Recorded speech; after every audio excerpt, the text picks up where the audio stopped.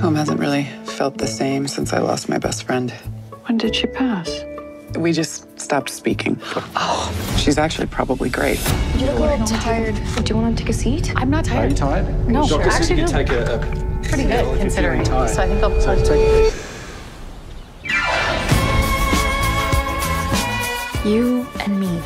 Together forever. We're gonna celebrate so hard.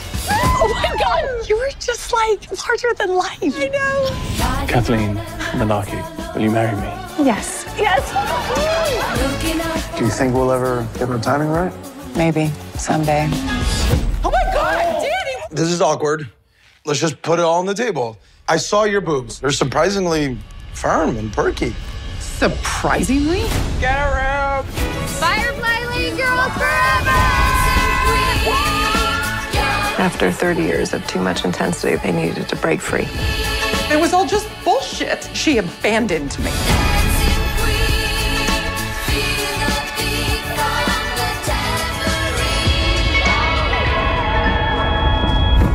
Have you thought about reaching out to Tully?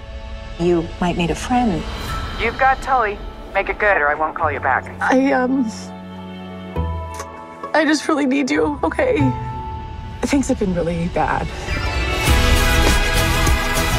What are we gonna do? That's the thing about big life changes. You don't get to choose when they happen. You just have to hold on tight to the people you love and make your way through it. How am I going to survive without you? I'm always gonna be here. You're stuck with me forever. What are you doing here? She called me. What took you so long?